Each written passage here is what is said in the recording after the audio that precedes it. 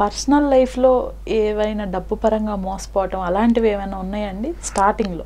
నా స్టార్టింగ్లో పర్సనల్గా అంటే బిజినెస్లో కొంతమంది ఉన్నారు చీటర్స్ ఉన్నారు పోయినాయండి. డబ్బులు చాలా పోయాయి. ఓకే. కొంతమంది ఫర్ ఎగ్జాంపుల్ మీరు డిజిటల్ షాపింగ్ మీకు తెలిసే ఉంటుంది కదా? రాజ్ కమల్ ఎలక్ట్రానిక్స్. ఇవన్నీ పోయినాయి. వాళ్ళంతా ఐపీ పెట్టేసి ఈవెన్ వాళ్ళు పే చేయలేని స్థితికి వస్తే వదిలేసాను మీరు ఇన్వెస్ట్ చేశారా? నేను సప్లై చేస్తాను. I'm one of the. Supplier వాళ్ళకి. ఎలా గెట్ ఆన్ అయ్యారు మరి ఆ సిచ్యువేషన్ సిచ్యువేషన్ డబ్బులు వదిలేసుకో. ప్రాఫిట్ నుంచి మైనస్ అయిపోతుంది అంతే. ఏవైనా కొన్ని కీస్ ఉంటాయా? బిజినెస్ పరంగా మనము ఈ ఐడియాలజీతో వెళ్తే సక్సెస్ అవుతాము అనేది ఏమైనా కీస్ చెప్తారా? కీస్ ఏం లేదండి. మనకి వచ్చేసి first we should have proper judgement ఒక ప్రోడక్ట్ తీసుకున్నా. ఓకే అది తీసుకున్న తర్వాత then again we have to work hard number two వచ్చేసి లాస్ట్ నెక్స్ట్ టూ ఇయర్స్ తర్వాత నువ్వు ఏం ఏం చేయాలనుకుంటున్నావు? టర్న్ ఓవర్ ఎంతైతే నీ ఆర్గనైజేషన్ ఉంటుంది.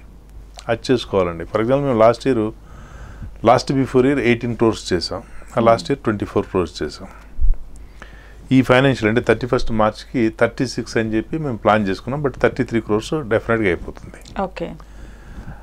నాకు ఒక అంబిషన్ ఏం పెట్టుకున్నాను నా సిక్స్టీ వన్ ఇయర్స్ వచ్చినప్పుడు సిక్స్టీ వన్ క్రోర్స్ చేయాలి. ఎందుకంటే సిక్స్టీ ఇయర్స్కి సిక్స్టీ క్రోర్స్ చేయడం కష్టం. చేయలేం కూడా.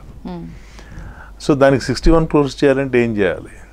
ఓకే. దానికి ఇప్పటి నుంచే ప్లాన్స్ వేసి దెన్ డీలర్ ఎక్స్పాన్షను డిస్ట్రిక్ట్స్లో షోరూమ్స్ అవన్నీ చేస్తున్నాం. ఇప్పుడు ఎలా ఉందండి? బిజినెస్ అది ఎంత? బాగుందండి. ఆఫ్టర్ కోవిడ్ బాగుందండి. ఈ కోవిడ్ టైంలో అండి యాజ్ ఆర్టిస్ట్గా బిజినెస్ పర్సన్గా ఫేస్ చేశారా ప్రాబ్లమ్స్ బిజినెస్కి ఏం లేదు. Two months forty five days first time అన్ని లాక్డౌన్లో షోరూమ్స్ కానీ బిజినెస్ కానీ ఏం రన్ అవ్వలేదు.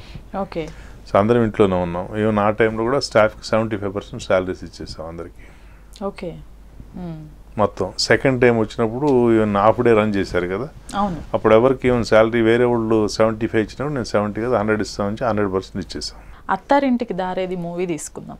దాంట్లో మీకు స్టార్టింగ్ ఇంట్రోనే డైలాగ్ నుంచి స్టార్ట్ అవుతుంది.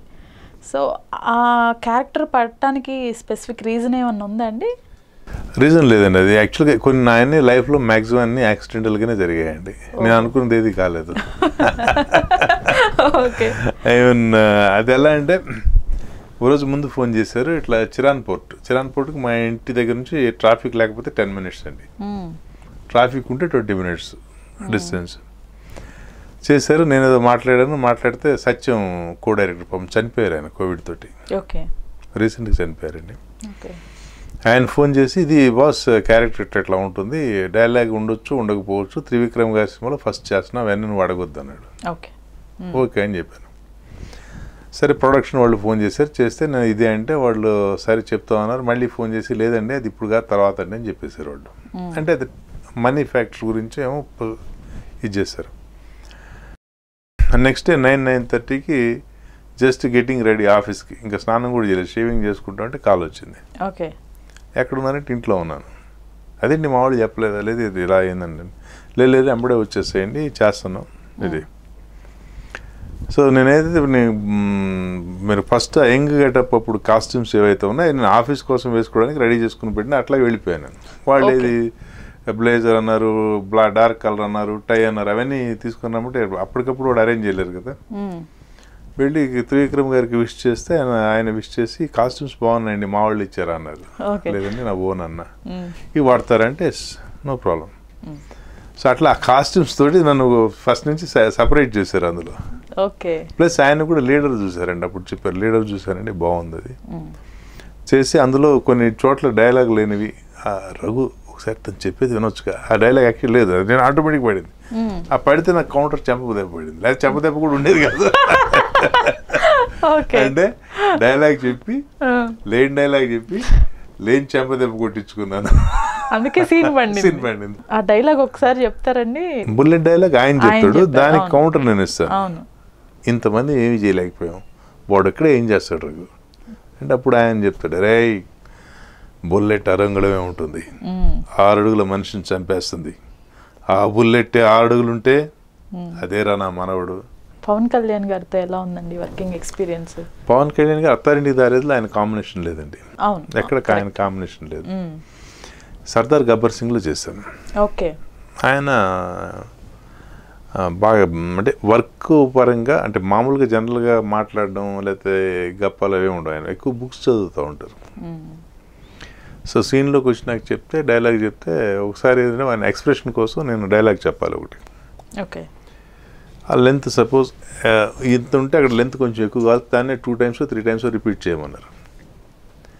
నేను తర్వాత ఫస్ట్ టైం ఒక టేక్ ఒక రేంజ్లో చేసి మళ్ళీ నెక్స్ట్ లెన్స్ మార్చి ఇంకోటి చేస్తా ఉంటే దానికి నేను యాడ్ చేసి చెప్తా పోతా ఉన్నా.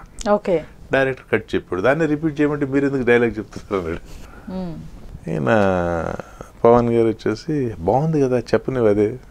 అట్లా సపోర్ట్ చేస్తారు. సపోర్ట్ చేస్తారు. ఆయనకి పాలిటిక్స్ సూట్ అవుతాయండి? అది మనం మాట్లాడుకోవడం బెటర్ అంటే అట్లాంటి స్వభావం ఉన్న పర్సన్ పాలిటిక్స్లో ఉండాలి అంటే అవి వేరే ఉండాలి. అంటే మీకు సింపుల్ ఒక ఇది చెప్తానండి మీకు.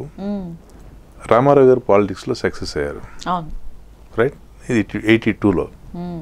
ఇది two thousand twenty one and twenty two అంటే ఫార్టీ ఇయర్స్ అయింది.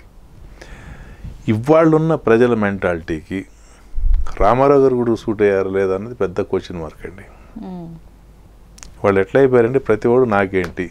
కరెక్ట్ నువ్వు నాకేం ఇస్తున్నావు? ఓకే వాళ్ళు ఫ్రీ ఇస్తున్నారు లేకపోతే ఈ లోన్స్ మాఫీ చేస్తున్నారు అవన్నీ పక్కన పెడితే. దాని తర్వాత వీడి తర్వాత నాశనం అవుతాడని వీళ్ళకి తెలుసు బట్ ఆ మూమెంట్లో నాకు ఏమైనా వస్తుందా లేదా సో ఇటువంటి టైంలో ఎవరికైనా ఇబ్బంది అండి. బట్ ఆయన సక్సెస్ కావాలని కోరుకుంటాం ఎందుకంటే ఆయ- ఆయనకున్న ఐడియాలజీకి ఈ వాంట్ డూ సంథింగ్. సొసైటీకి చేయాలని చెప్పి అనుకుంటున్నారు.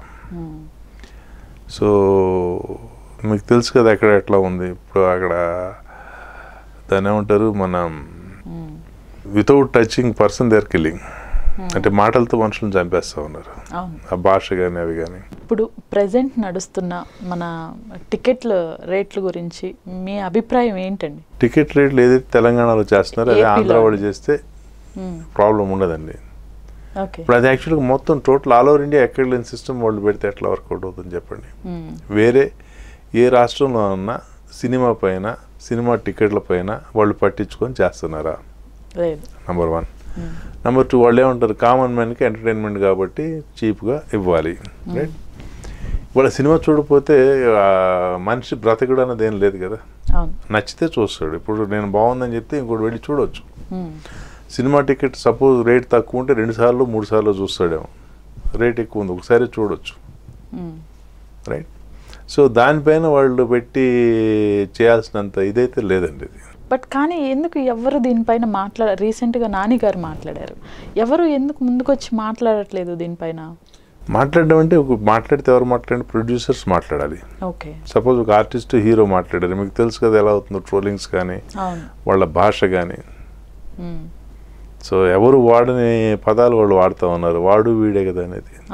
సో అని అనిపించుకోవడం అవసరమా. బట్ ఉండదండి వాళ్ళు they cannot control.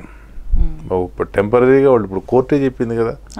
You should not involve వాళ్ళ రేట్ వాళ్ళు పెట్టుకుని ఇంకా అంతకన్నా ఇంకేం కావాలి? అయినప్పటికీ వినట్లేదు కదా. కొంచెం చేంజ్ చేసినట్టున్నారు కదా ఇప్పుడు.